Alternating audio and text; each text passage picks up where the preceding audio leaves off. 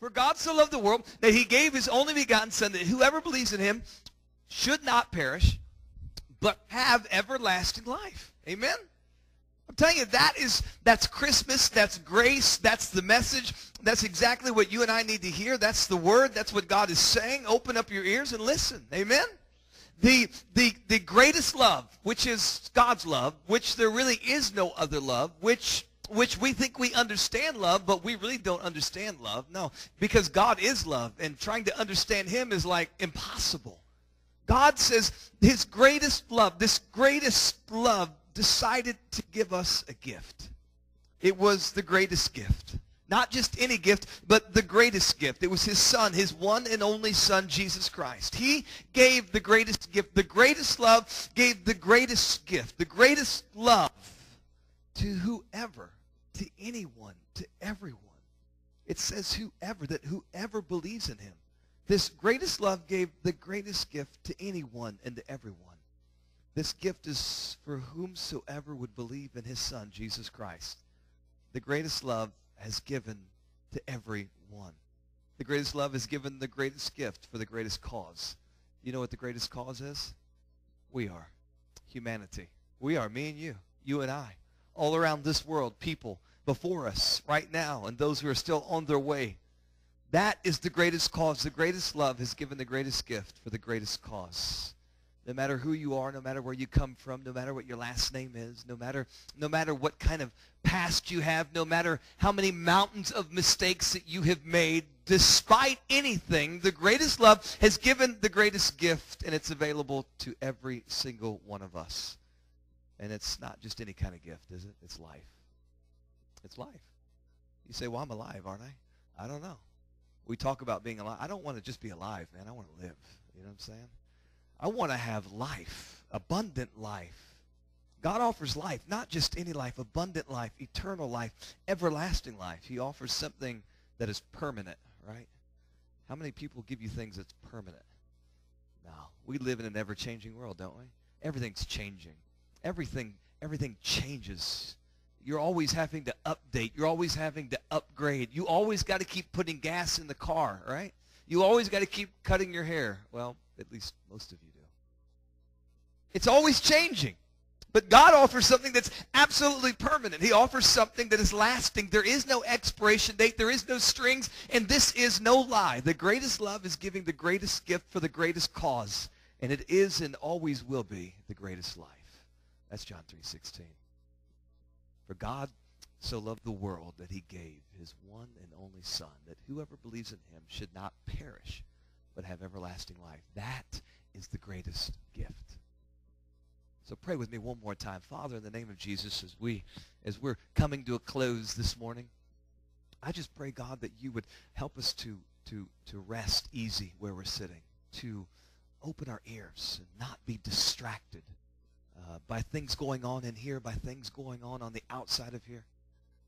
I pray that you would uh, clear every mind. Uh, we just want to see clearly. We want to see you this morning, Jesus.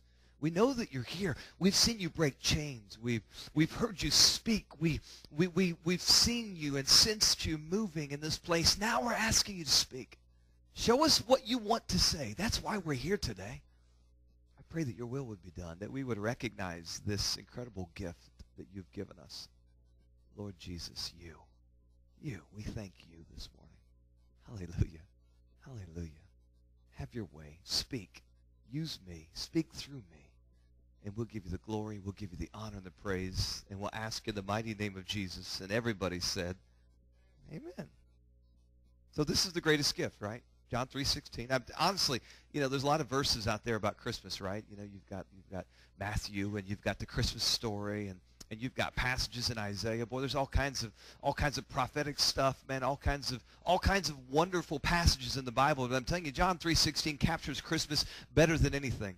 And I just I really believe like God is is wanting us to review this. I'm not going to tell you anything that you don't already know this morning. Okay, I'm not going to going to surprise you with something that you have never thought about before. But God's trying to remind you. God's trying to refresh you. I mean, God's trying to, I don't know, he's trying to get us in a frame of mind to get ready for what this month and what December the 25th is all about. This greatest gift, if you can understand it this morning and begin to wrap your mind around it, has a message for you. This greatest gift is trying to say something to you and to me. Christ is speaking this morning, and he's looking for a church. He's looking for someone like you and me to be listening. And I think the first thing, I believe the first thing, at least that he's been telling me all week long is this, is that we need to do for him what he has already done for us. Amen? You say, what's that? Well, it's real simple. The greatest love decided to give. And so what I want you to think about today and this week and this month, and really just as, as, as far as I'm concerned for the rest of your life, is giving. God wants to bring you to a place of giving. And you say, well, Pastor, what are you talking about? Giving what? I'm just talking about giving in general. We need to be a giving people. What did, what did Tracy say just a moment ago? I always say it. This stuff is temporary. You feel like you got all this stuff here and you're trying to hold on to stuff here. Let me tell you something. This stuff is going to be gone one day. This stuff really is, is, is so meaningless. We put so much importance on something that is so temporary. What in the world is wrong with us? We need to be givers. What this world needs to see in people who follow Christ is this idea of giving. We need to learn how to give. And it's not just money, but it's time. It's love. It's patience, man. It's, it's, it's, it's the whole gamut. It's, it's everything about you and everything that you got. Why can't we be, what in the world are you holding on to? And why? We need to be givers. What does the Bible say about giving? This is good. 2 Corinthians 9, 6, and 8. Man, I'll tell you guys, Billy could quote this. As I'm speaking, Billy's, he's just mouthing the words because he already knows them. Remember this, whosoever sows ever so sparingly will also reap sparingly. So if you say you don't have enough, if you've been complaining to the God that you don't have enough and he's not been providing enough, then according to his word, it's because you're sowing sparingly. So you're blaming God for not providing for you, and God's saying, well, if you would give more, I would give you more.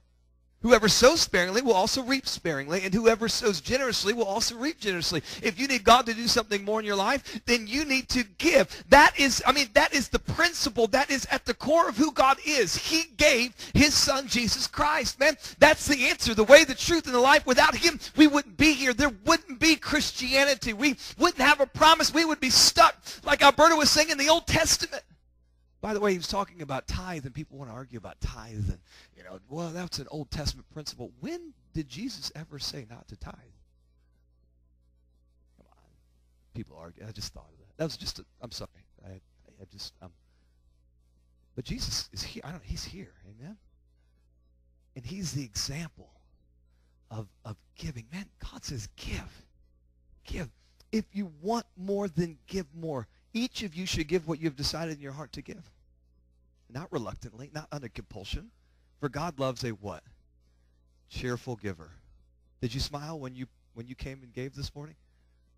Did you? Do you are you happy when you give people things? Do you get excited? Heather loves Christmas. She is so she's she's so crazy. The girl's birthday. So we um we we we took him to Build a Bear, right? And um, I just don't go to don't ever take your kids to Build a Bear. They sell you on a really cheap little animal that's like 20 bucks, but then they make you stand there for like an hour and let your kids look at all these super expensive accessories. Yeah. Talk about the bait and switch, man. I tell you what. Break every chain. I was I was. Let's get out of here. Oh no, no, no, you have to wash the bear. Oh no, no, no, you've got to stuff the bear. Oh no, no, you gotta and all the while Claire is just seeing everything that she wants, every little accessory it's like I saw a little miniature Kim. Just, I need these shoes. I need these shoes to go on this bear. And Kim's a shopper. She's just, you know, she, she would not deny it. I know some other shoe people too, but I won't mention their names. I won't mention their names.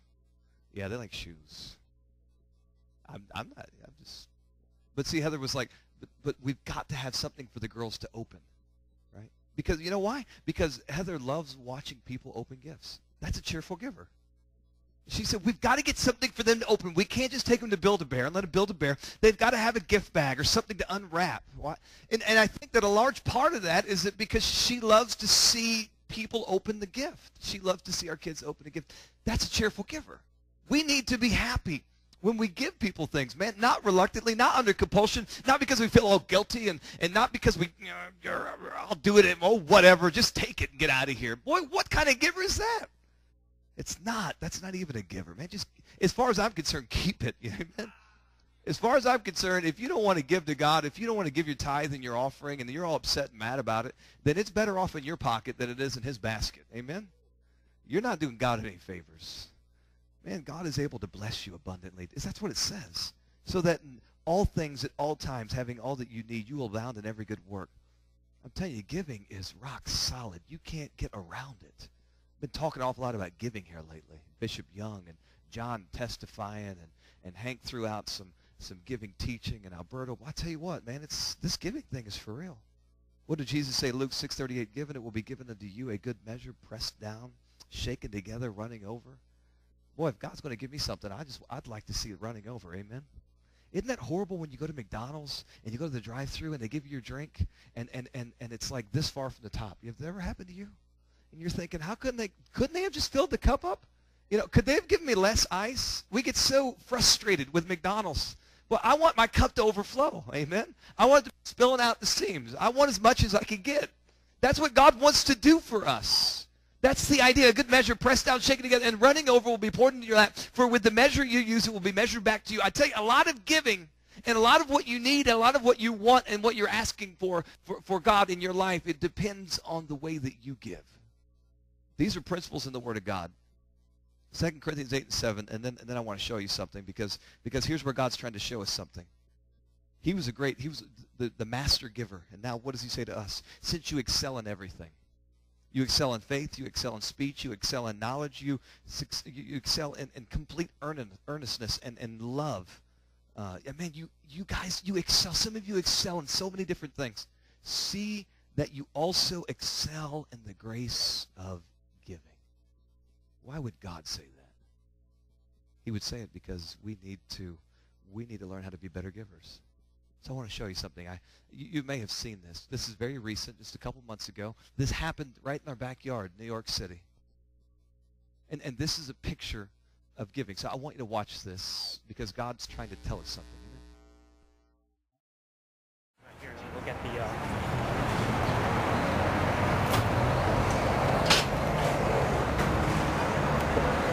How you doing, man? Is it okay if you could spare that slice for me, please? Nah, man, I work for this, bro. White trash than me, man. Really?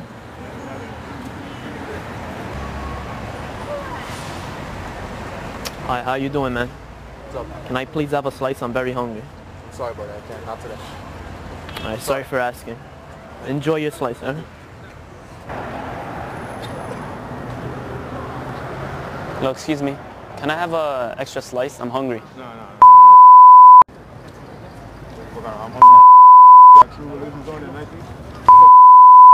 Sorry for asking.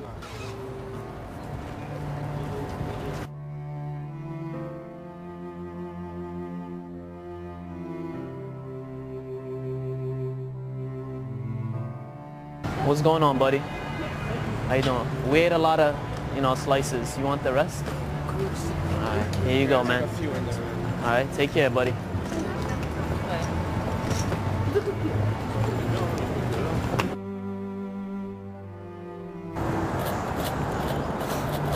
Hello, how you doing?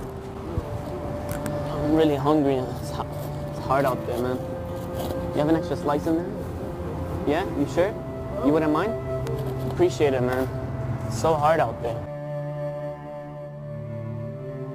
Yeah. Yeah. I know how you feel, man. It sucks. I really thank you. Thank you so much.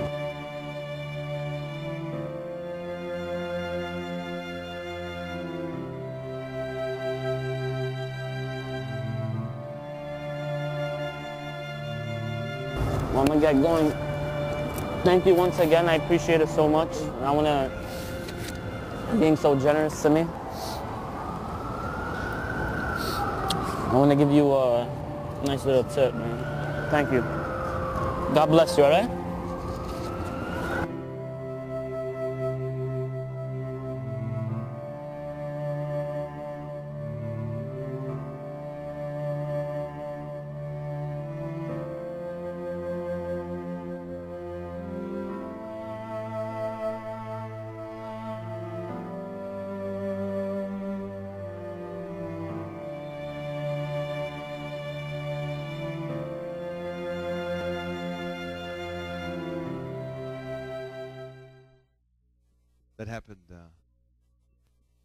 Months ago, New York City, October 22nd.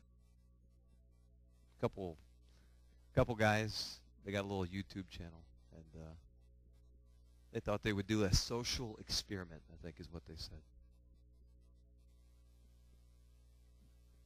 But I, I, I saw that video. It's been a couple weeks ago, and it's just been kind of working on me. And uh, I mean, what kind of giver are we?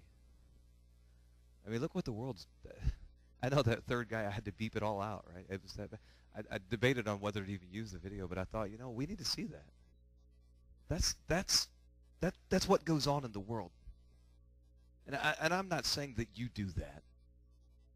But what God is asking is, what are you doing? What kind of giver are you? We excel in so many different things. We do, man. Some of you are incredibly good. I could look at you.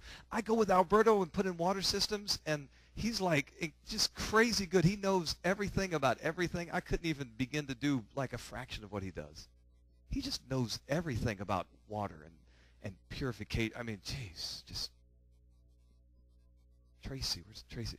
Painting he could paint anything. I mean, he knows everything. He knows what to use. See, we excel. Jimmy with carpet. No, people who own their own business. You guys, you're so specialized. You know, you, you excel in so many things. We know how to be really good at stuff. We do. Every one of it. Kim with accounting and, and, and just all the, man, she just, all these things that she can do. We know how to be really good at stuff because we are really good at stuff. And God says, since you excel in all these other things, I need you to excel in this grace of giving. It's not just a Christmas thing, but God certainly had this on his mind for today. God has loved you, still loves you so much that he gave. And what is he asking us to do? He's asking us to do the same thing, to give. We need to be better givers. We do. We can improve. Amen? We got to start giving. Giving. To who? Say who well that's that's the natural question, right? So who do I give to? I need some direction here. Anyone. How's that? Anyone. What kind of direction is that, Pastor? It's wonderful direction. Because because giving is really more of a mindset.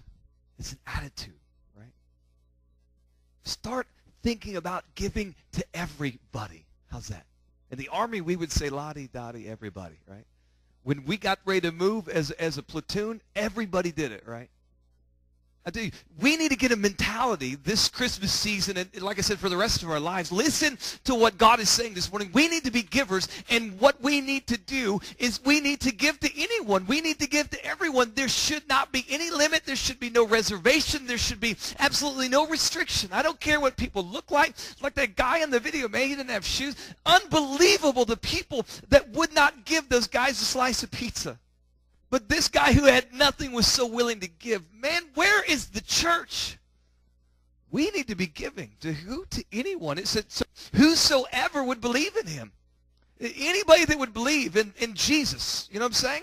Anyone. That's everyone. All people. The ones under your roof, the ones who are close to your heart, the ones who live next door and down the street and across the tracks and through the woods and over the mountain and all around the world. Man, we need to be givers and we need to be giving to anyone.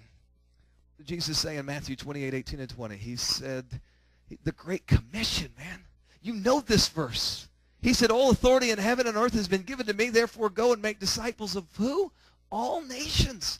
This message of Christ, this attitude and mentality of giving has got to be something that we're looking worldwide. There should, there's no reason why you can't give to everyone. There is no reason that you can't give to anyone. You don't have a good one anyways. God's not buying it. Therefore, go and make disciples of all nations anyone and everyone. What did, what did Jesus say in Acts 1 and 8? You will receive power when the Holy Spirit comes in you, and you will be my witnesses in Jerusalem and all Judea and Samaria and to the utter ends of the earth. Saying everywhere, anywhere. Why aren't we giving? Why are we so inhibited in our giving? What is in your way? I thought of Acts chapter 10 when Peter went to Cornelius' house. Remember, Cornelius was a Gentile. And, and, and you know what? On the way there, I, I would like to think that he was considering Christ talking to the woman at the well, the Samaritan woman. Because he, in, in, in, his, in his natural mind and in his natural thinking, he was thinking that, that Jewish people had nothing to do with the Gentile. And this promise was for the Jews. But at the same time, he's realizing that Christ was always reaching out to anyone and to everyone. He said things like he said in Matthew 28 and Acts chapter 1, like, man, you need to go everywhere and you need to give this to everyone. And he got there and he began to realize something about Cornelius and Cornelius' household. And this is what he said. He said in Acts uh, 10, 34 and 35, he began to speak and he says, Now I realize how true it is that God does not show favoritism. That God is no respecter of person, but accepts from every nation the one who fears him and does what is right. Man, God. God is not drawing any lines. God is not limiting you. God is not restricting you. We need to be givers and we need to give to everyone. Anyone. What in the world is in your way? If God is no respecter of person, then neither should we. Amen? So now I want to give some stuff away. Is that all right? I have things hidden over here hidden things. Hidden things. I got good stuff over here, man. You guys have no idea.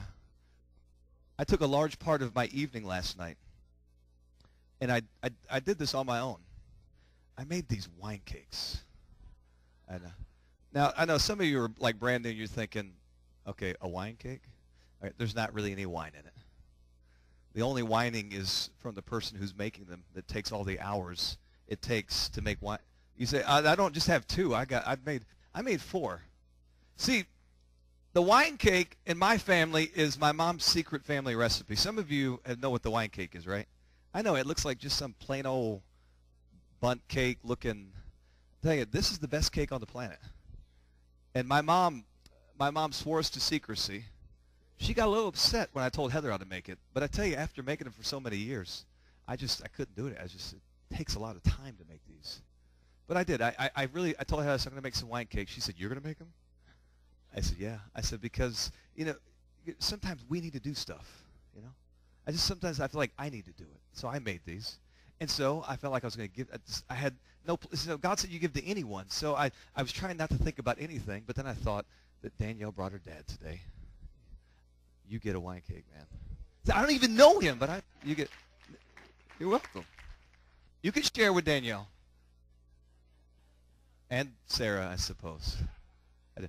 And I, I, thought, Sandy, I don't even know Sandy. I just we just met. Sandy and I just met. Sandy, I want to give you a wine cake. You have no idea what you're getting into. It's good stuff. I got two more. Now you're thinking. I t- look, I tried to not think about this at all because we we overthink things, right? If I planned this out, who was going to give them to, this would never have worked. But God said, just anyone, just everyone. So I thought, man, there's got to be some visitors here today. And, and here's Buddha, Alberto's friend. This Buddha. I got one for you too. Amen. Best cake in the world. Don't ask me for the rest. I can't give it to you.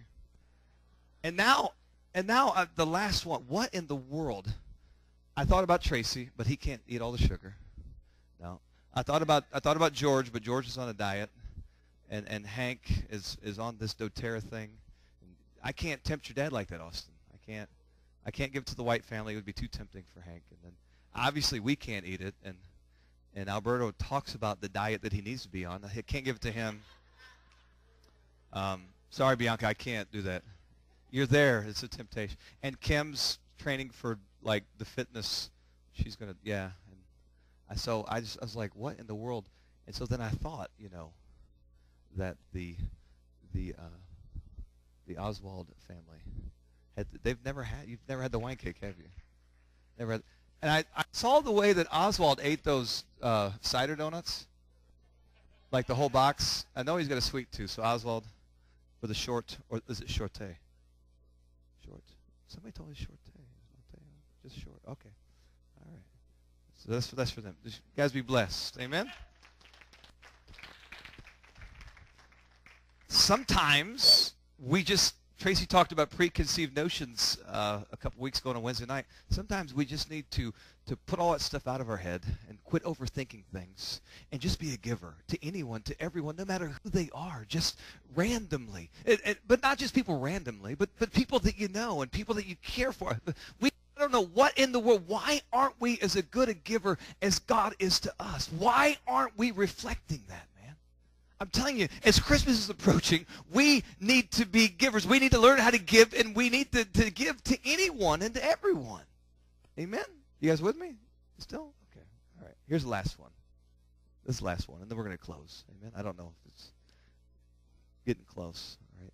12 o'clock. Austin said I had to be done by 12. Yeah. So what what is it about this giving that we need to that we need to think about? It was it was the everlasting life. That's what caught my attention. But we always focus on life, don't we? You know. But then I thought about the everlasting. Lasting. We need to give people things. We need to give anyone, everyone things that's lasting.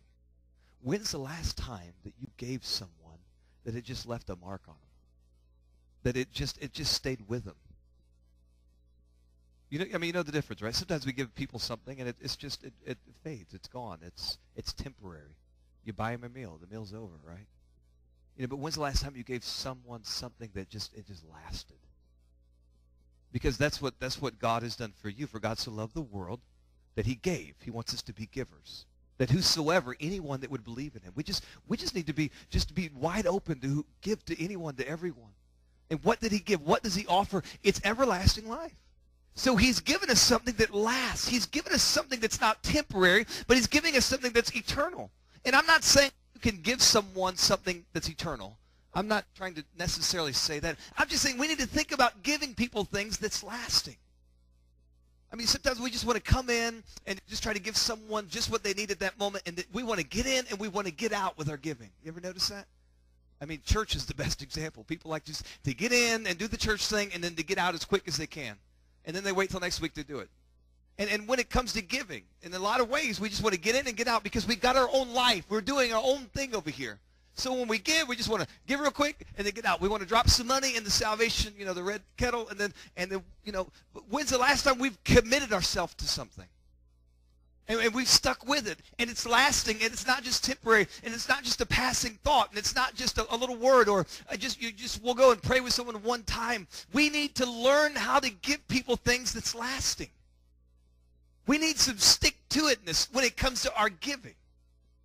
Everything God gives, everything that God does is lasting. It's eternal. It says in Jeremiah 31 and 3 that the Lord has appeared to us in the past, saying, I have loved you with an everlasting love unfailing kindness is what I keep drawing you with. Psalm 30 and 5. It says, For his anger lasts only a moment, but his favor lasts a lifetime. And what God does is eternal. And it's not just life. It's everything that he does. It's the love that he offers. It's the kindness and the grace and the mercy that he shows. It's the favor that he gives. It says in Psalm 121, I love this. I, I read it. Was it? I, let me just read it to you again. It's very short. It says, I will lift up my eyes to the mountains. Where does my help come from?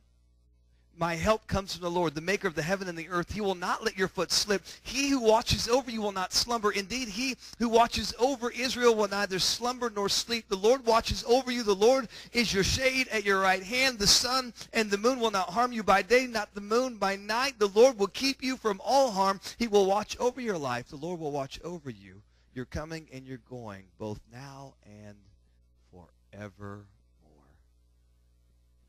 God does forever kind of stuff, doesn't he?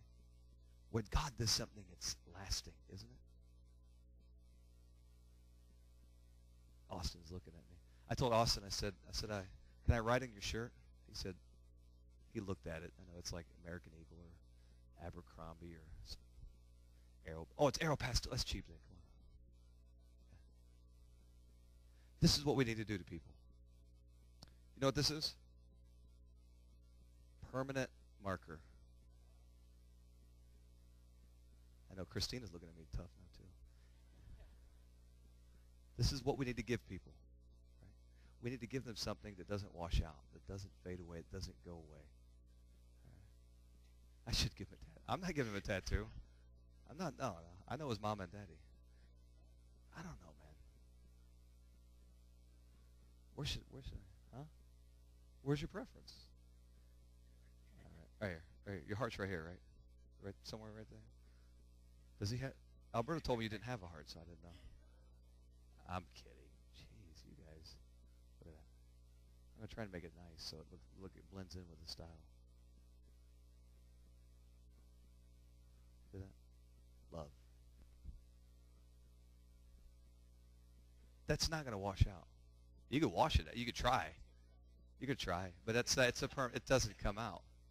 And he's like, like, wait a minute. I didn't know you were going to do this. Yeah, you did. This is what we need to give people.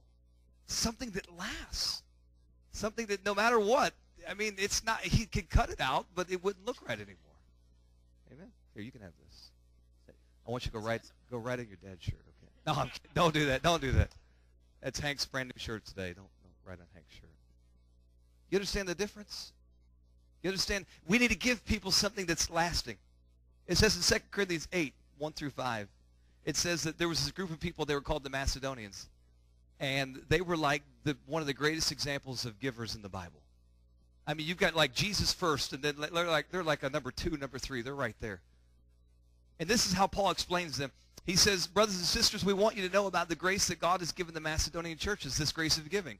In the midst of a very severe trial, like like talk about they were going through as a group of people the worst possible scenario situation that anyone could ever go through. In the midst of a very severe trial their overflowing joy it, it's like because something horrible happened that instead of anger brewing up that joy began to overflow and their extreme poverty, a combination of everything they didn't have, and a joy that was unspeakable and full of glory that we don't even know where this came from. All of this, all of this, this severe trial, all of that welled up in them rich generosity. Are you kidding me? We don't even have a severe trial going on. We, we really don't even know what a severe trial is. We don't, many of us don't know what poverty is. My kids tell me I'm starving all the time, and I rebuke them. I say, you have no idea what starving is. I don't even know what starving is. These people were going through it. Probably like none of us have ever gone through it. And what happened? They got overfilled with joy. And something welled up on the inside of them to give. For I testify that they gave as much as they were able. But, but they went beyond their ability and they gave over and beyond. It's like they were able to give more than what they had. I mean, how is that even possible? Entirely on their own. It's, it's like nobody prom- nobody came and preached. No one offered this sermon. Nobody came around and said, you know what you guys ought to do? You know, you're really going through it, you know. You, you, this is a really bad situation, you know. You know, you know what you need to do. You need to start sowing generously. No, no one came and told them anything. This was on their own. This was their own idea. They urgently pleaded with us for the privilege of sharing in this service of the Lord's. It's like they were begging to give more. They had to stop them. It was like Moses building the tabernacle. They just Hank talked about that a few weeks ago. They just brought so much that, that finally, guys, we don't even know what to do with it anymore. They exceeded our expectations, and they gave themselves first of all to the Lord, and then by the will of God, they also gave to us. You say, Pastor, why do you read that story? Because they made a mark. They did. That story has been talked about and read about for over 2,000 years. That story is not going away. They made their mark. They did something permanent with their giving that can never be taken away. It will always exist. Always in the Word of God. Always. God is saying that he loves you so much that he gave. And he said, my gift is for anyone. And, and what I give will last forever. We understand that. We receive that. We say, we quote the scripture, and we get it. But God is asking us, do you really get it? Do you really get it? Because unless you're doing what I've done for you, then I don't think you get it. Because we need to start giving. And we need to start giving to anyone and to everyone and give them things that last. Like writing love on their heart with a permanent marker that can never, ever go away. That's the message this morning. That is the greatest gift. What do you do with the greatest gift? You do the one thing that many of you don't want to do.